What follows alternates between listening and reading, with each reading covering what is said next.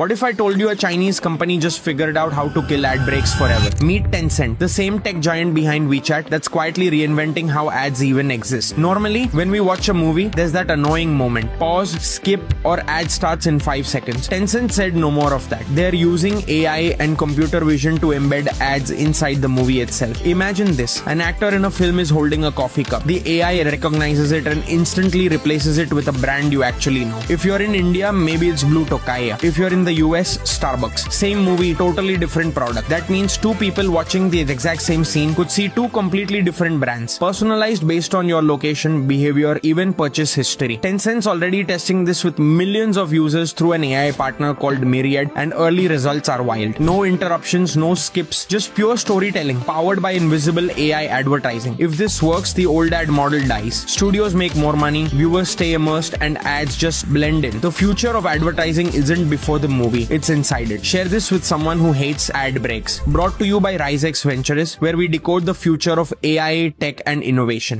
Well, I don't know about you, but I personally hate ad breaks. And if this works, um, uh, it's going to be a game changer. AI is here to stay, guys. Thank you for your time.